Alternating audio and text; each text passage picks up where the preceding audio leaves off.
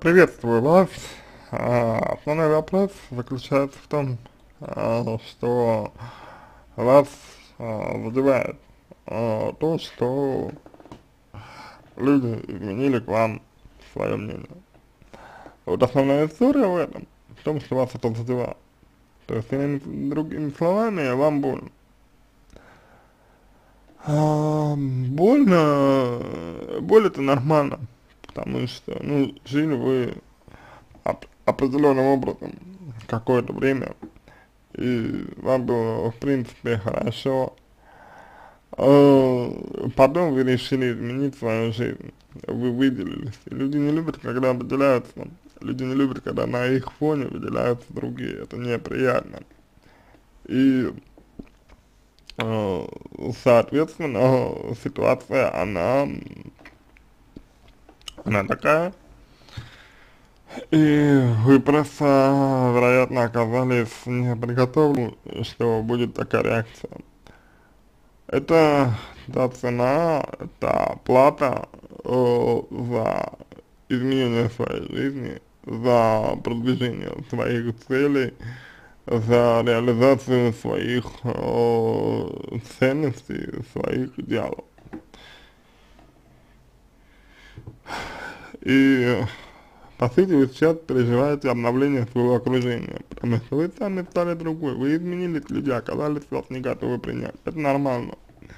Да, эти люди не друзья вам, да, потому что друзья приняли бы вас, тем более, что я не думаю, что вы изменились прямо радикально, но то, что вы перестали есть мясо, то, что вы озаботились здоровьем, это, это все очень здорово, но я не думаю, что кардинально вы изменились. То есть, опять же, если вы не насаждаете свою позицию, если вы не пропагандируете ее, а просто делитесь своими какими-то впечатлениями, своими, своими эмоциями и своим опытом, то вы делаете более чем адекватные вещи, но Другие люди реагируют, потому что им неприятно, что вы выделились из их круга, и на, и на их, на вашем фоне они теперь выглядят, выглядят по-другому. Это неприятно. Вот. А вы переживаете естественный такой социальный процесс. Вопрос в том, какие ваши проблемы этот социальный процесс скроет. Если вы эм, чувствуете боль, то боль от чего?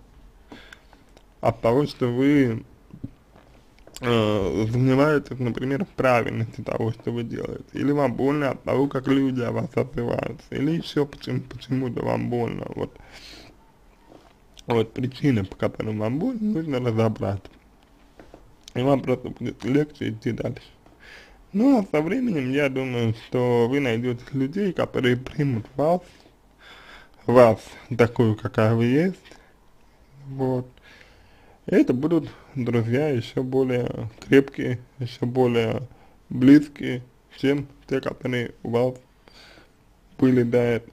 Потому что до этого, я так предполагаю, у вас были друзья либо с детства, либо с э, университетской скамьи, то есть это люди, с которыми вас объединял, объединял ну, какой-то вот такой э, про, э, период бурного развития.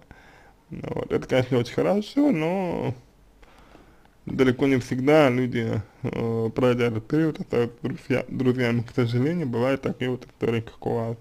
Еще раз повторю, а здесь не, не важно не то, как вы реагируете, здесь важно то, что вы чувствуете и какие переживания у вас есть. И важно, чтобы вы э, максимально безболезненно для себя пережили этот период, непростой период вашей жизни. Вот. Возможно, вам понадобится поддержка, возможно, вам понадобится работа с психологом. Вот.